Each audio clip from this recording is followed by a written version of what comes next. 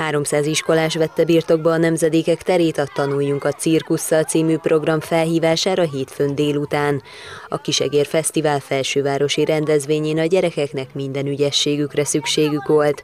A csoportok állomásonként próbálhatták ki az ördögbotot, a zsonglőrködést, a tányérpörgetést, illetve a saját egyensúlyukat. A feladatokat a Magyar Zsonglőr Egyesülethez tartozó Inspirált Cirkusz Központ tanárai mutatták be. A cirkusz most már ilyen nyílt forráskódúvá vált, és most már a oktatásban is meg tud jelenni.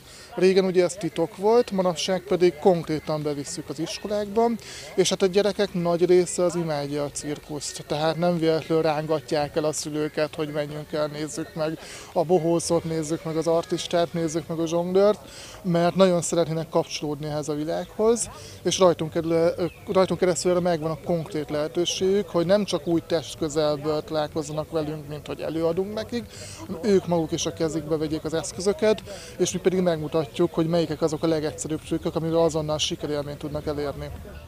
Az új cirkuszi áramlat a 60-as, 70-es években indult, és napjainkig dinamikusan fejlődik. A műfaj nem csak a hagyományos cirkuszt újítja meg, hanem különböző társművészeteket is bevon. Ehhez kapcsolódó összművészeti előadásokat június másodikáig láthat a közönség az Egri Kisegér Fesztiválon.